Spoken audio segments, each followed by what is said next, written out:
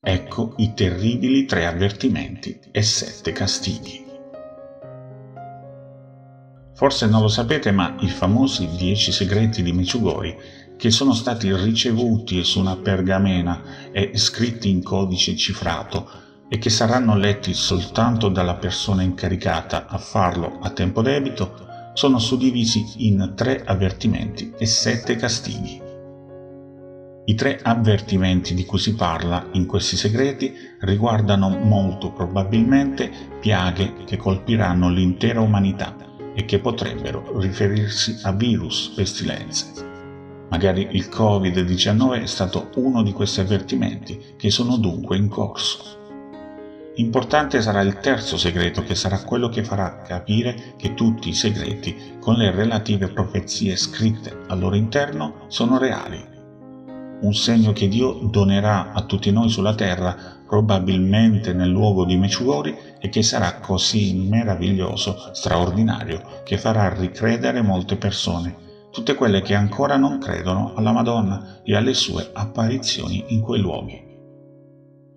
Uno dei peggiori segreti è comunque il settimo, in cui si parla di un orribile evento mondiale, di un grandissimo castigo che il Signore ha deciso di dare all'umanità perché oramai si è allontanata da lui. La veggente che lo ha ricevuto ha pregato la Madonna che potesse intercedere e chiedere al Signore di alleviare le sofferenze di questo infausto evento e castigo e la Madre di Dio in parte ha accettato questa supplica, anche grazie alle preghiere, alla penitenza, alla confessione e conversione di molte persone nel mondo. Ma quando saranno rivelati questi segreti? Ebbene, eh, la veggente Miriana dice che dieci giorni prima degli eventi ella dovrà pregare e digiunare insieme a padre Petar Ljubicic, scelto appunto per rivelare al mondo i segreti. Ed esattamente tre giorni prima che si verifichi l'evento verrà rivelato a tutti noi da padre Petar Ljubicic.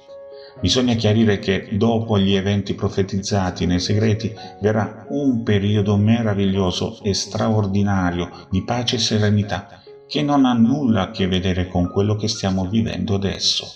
Coloro che pregano, temono Dio, si confessano, vivono l'Eucaristia, non dovranno avere paura dei castighi perché non ne saranno colpiti, ma guai a coloro che non seguono la parola del Signore e vivono esclusivamente nella mondanità, nel peccato, rifiutando la sua parola.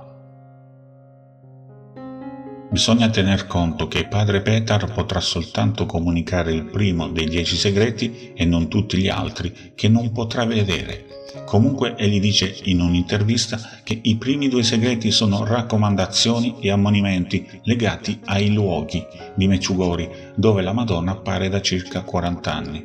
Quindi con questi due segreti il mondo intero saprà con certezza, finalmente, che Meciugori e le sue apparizioni sono reali. Nel terzo segreto invece si parla di un segno visibile sulla collina delle apparizioni che la Madonna vuole per tutti coloro che già amano Dio e credono in Lui, ma anche per coloro che non si sono ancora convertiti.